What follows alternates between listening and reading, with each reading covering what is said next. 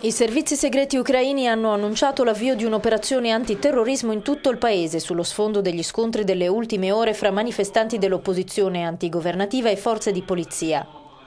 Il premier pro tempore Sergei Arbuzov. Non è accettabile parlare dei valori europei e di un livello di sviluppo più avanzato e allo stesso tempo sacrificare vite umane.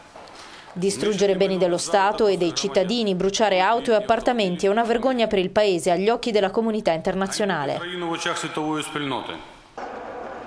I servizi segreti hanno aperto un'inchiesta contro quei politici dell'opposizione accusati di aver cercato di prendere illegalmente il potere dopo gli scontri di lunedì notte.